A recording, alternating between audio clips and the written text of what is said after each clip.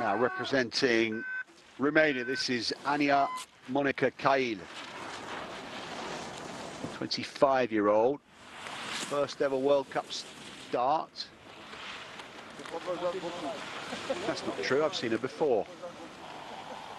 Yeah, uh, that, that's uh, just checking back. here. Yeah, she did start in Val d'Isere actually, in all three races to score World Cup points, but the uh, computer time he's telling me it's her first World Cup outing. I know that's not the case because I recognise the name.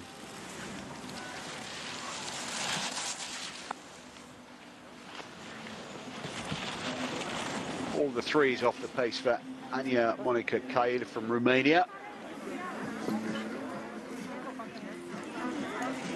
Five to go here in Crans-Montana.